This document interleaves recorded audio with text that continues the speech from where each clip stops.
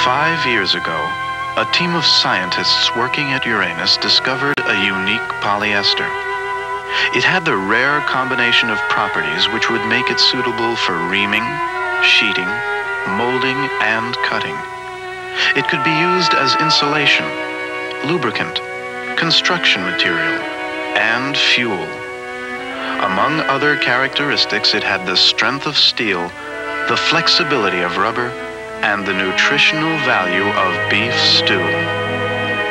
This revolutionary substance, developed at Uranus, is Brown 25. The variety of products which can be made from this incredible new material is unlimited.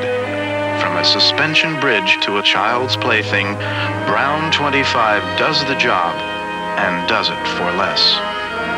Brown 25, another fine product from Uranus.